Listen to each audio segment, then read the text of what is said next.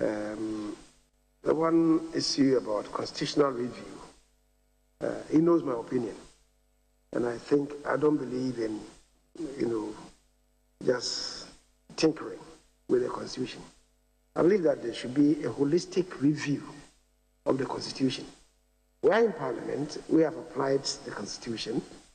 Indeed, we apply it on a daily basis. We know the weaknesses that confront us in the areas, in many areas, including even what he himself is alluding to, the process of amending the Constitution, uh, especially the entrenched ones, which seem to relegate the um, Parliament to the backyard. Even with the non-entrenched, what's a properly defined role? So Parliament as an arm of government will have many issues. Uh, you, you even speak about the, the, um, the bringing agreements and bills to Parliament. And sometimes when we have to uh, set aside some of the orders, the Constitution itself is uh, a bit confused about what to do when we have to abridge the process. You would realize, my, my colleague, that when you refer to um, Article 106, I think, Article 106, which deals with um, the mode of exercising legislative power. Let's look at it. When we come to um, clause 13, which provides where it is determined by a committee of parliament appointed for the purpose that a particular bill is of urgent nature, the provisions of the preceding of the preceding clauses of this article, other than clause 1 and paragraph A of clause 2, shall not apply, and accordingly, the President shall give his assent to the bill on its presentation for assent. what does it mean? What it means is that the Article 106.1 would apply, 106.2 would apply, uh, 2A would apply.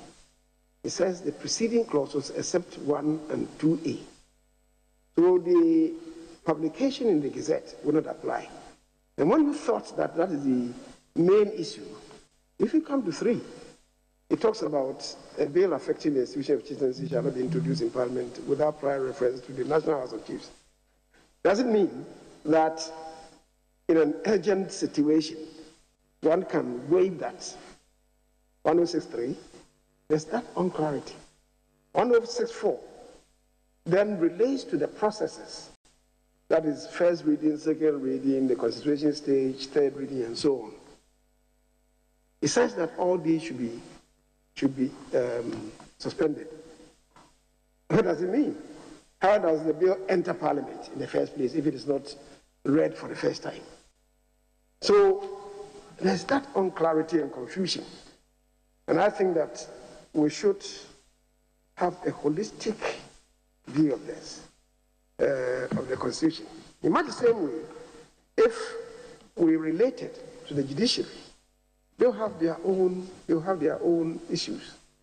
The constitutional creatures. You remember uh, my distinguished colleague, when at a point in time we had to um, bring in, the president had to bring in Charlotte Osei in place of um, who had retired. My position at the time was that we should have the president submit the names to us for Parliament to subject it to prior approval using two thirds. If we come to Parliament approving by two thirds, the president will be forced to be very much more consultative in the appointment than is usually the case. That is just a suggestion. Today, commissions and commissioners who are appointed by the president are undermined because of uh, maybe lack of trust. And the NDC thinks that because the current commissioners were introduced by President Akufo-Addo's regime, they cannot trust them. Just as we thought Charlotte Osei's commission could not be trusted. What should be the way forward for us as a country? Or should we go on in this haranguing all the time when there's a new set of commissioners? I think there should be a better way for us as a country.